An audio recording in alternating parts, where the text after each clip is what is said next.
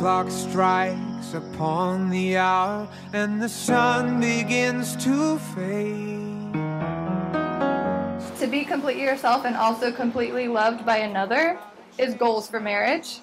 Um, and it takes a long time to build this, and honestly, some people never get there. But a gift that you both share is that you've already been there. And as Glennon Doyle calls it, both held and free. I want to be a reminder of today and the vows that you're making to each other in front of all of us. So please join me in a toast. Raise your glasses if you have them.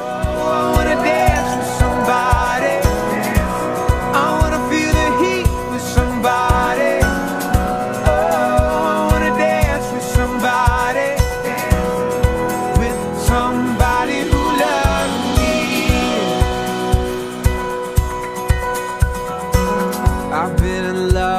and lost my senses, spinning through the town.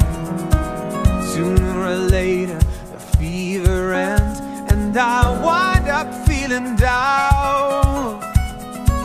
I I promise you that you can always count on me as I count on you. You have loved me and stood beside me and supported me through some dark times. And that's a love like I've never known. And I can truly say that that love saved me and has helped me be the man I am today. You and our girls are my whole world. And I promise to always be there and to always be the man that you and our girls deserve. I take you, Cody, I take you, Cody, to be my husband to be my husband, before God who brought us together, before God who brought us together, to have and to hold, to have and to hold, to love and to cherish. love and to cherish. And with all of that I am, And with all that I am, I commit myself to you. commit myself to you. By the power invested me in the Church of Christ and in the state of Florida, I now pronounce you husband and wife. Cody, you may kiss your bride. been alright up till now. It's a light of day that showed me how. And when the night falls, I now introduce to you for the first time Mr. and Miss Cody Paith. oh,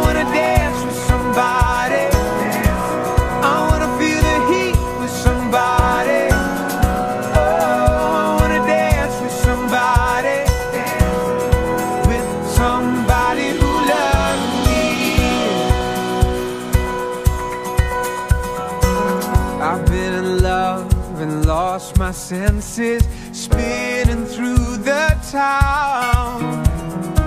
Sooner or later, the fever ends, and I wind up feeling down. I need someone who take a chance on a love that burns hot enough to last. And when the night falls, my lonely